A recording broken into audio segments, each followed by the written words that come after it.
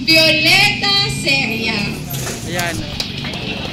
Bawal po kasi ang English base po sa DILG memo. Kaya po ako po ay pagtsagaan niyo po sa aking pananagalo. ang hirap, ang hirap naman no.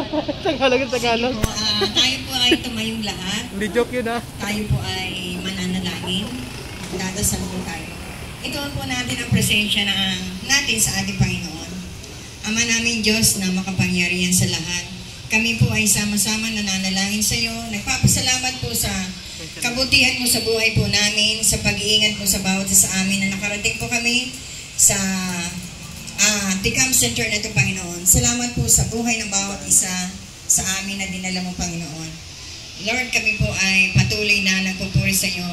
Niaalay po namin yung programa ito sa iyo, Panginoon. Tunay nga po na ang lahat ng bagay nakakalaki po para po sa ikabubuti mo, aming God. At dalayan po namin Power. na patawarin niyo nga po kami sa lahat ng aming mga kasalanan, Panginoon. Linisin mo po ang aming mga puso, Panginoon, sa lahat po na nagagawa namin kasalanan sa iyo, Panginoon. Ganun din po ang programang ito, pinagkakatiwala po namin ang katagumpayan nito, Panginoon, ng ah, opening ng hilot haplos ng mahahay, Panginoon. Nalangin po namin sa iyo, Panginoon, na pagpalain mo nga po ang aming butihing mayor sa kanya pong ah, patuloy na pagtulong sa mga hilot, Panginoon, ng mahayhay.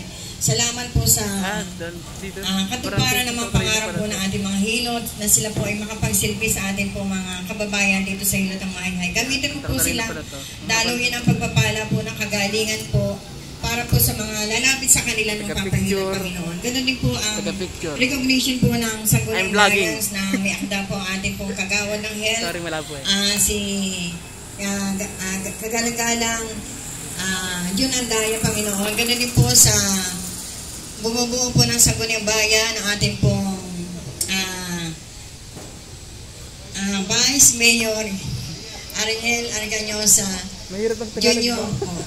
Aming God. Ganun din po ang aming pong Puro pinaka-gwapo. Eh. Sorry po. At napakagwapo po na aming pong pambayang magagamot.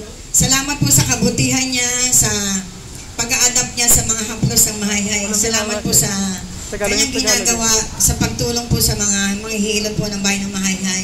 Ganun din